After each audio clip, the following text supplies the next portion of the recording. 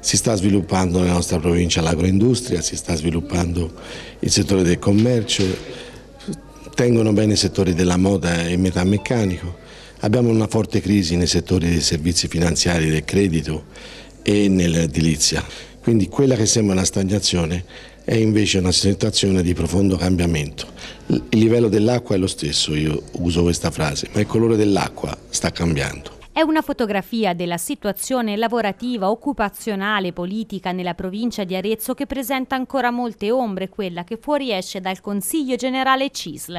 A preoccupare rimane ancora lo spettro della disoccupazione, soprattutto quella giovanile, che non accenna a diminuire. Vediamo che all'inizio di quest'anno c'è un aumento della disoccupazione, probabilmente legato al calo di cassa integrazione.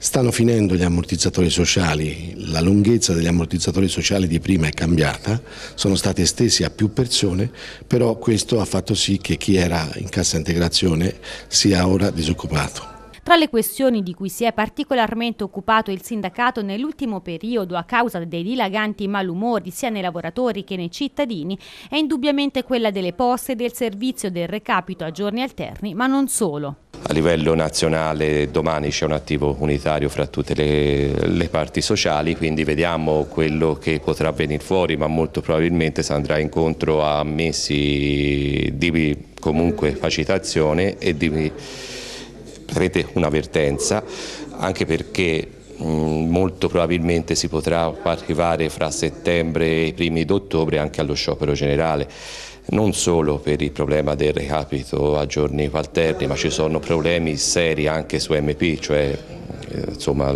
la sportelleria, il problema più grosso è anche l'ulteriore vendita di un, un 29% di poste ai privati. In terra retina la vicenda della Popolare dell'Etruria ha fatto tremare il tessuto economico e non solo, ma ad oggi con la vendita della nuova Banca Etruria e degli altri tre istituti di credito salvati all'orizzonte, le preoccupazioni dei lavoratori si concentrano sulla necessità di un mantenimento dell'organico. Noi i compiti a casa li abbiamo già fatti, Banca Etruria li ha già fatti, noi abbiamo firmato già un accordo nel 2015, eh, due giorni prima del commissariamento, eh, con il quale abbiamo ridotto notevolmente sia il costo del personale sia il numero degli addetti. E la situazione delle nostre filiali in questo momento dimostra assolutamente che non siamo per niente troppi, anzi